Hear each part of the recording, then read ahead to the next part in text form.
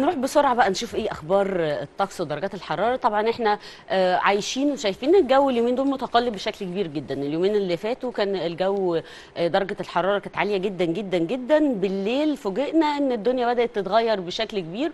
والنهاردة الصبح كان يعني إلى حد ما بدأنا كده مش هنقول موجة برد بس يعني درجات الحرارة في الانخفاض آه، نشوف بقى درجات الحرارة. القاهرة 27 18 اسكندرية 24 16 مرسى مطروح 20 16 الغردقة 33 23 شرم الشيخ 33 24 إسماعيلية 27 15 بورسعيد 20 17 السويس 28 14 المنيا 28 13 سوهاج 30 20 الأقصر 38 21 وكالعادة أسوان أعلى درجة حرارة 40 26 20 العريش بقى هنلاقي بس انت واخد بالك امبارح كانت درجة حرارة 37 في القاهرة النهارده 27 فخدوا بالكم لأن آه. ده الجو المثالي إنك تعيا أو آه، تاخد من بالك بالليل كان كان بدأ برد يعني امبارح كنت بردانه والنهارده الصبح طبعا وإحنا جايين الفجر كان وفي ثلج شوية تراب يعني وخدوا بالكم يعني الأيام دي هي أيام زي ما بيقولوا أيام العيا.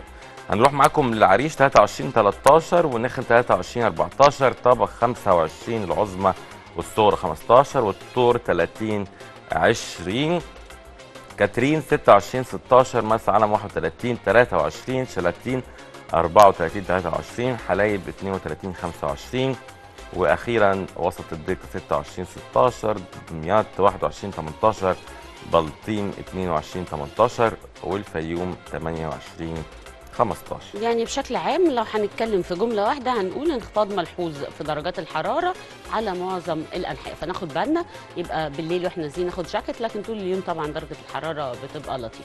هنروح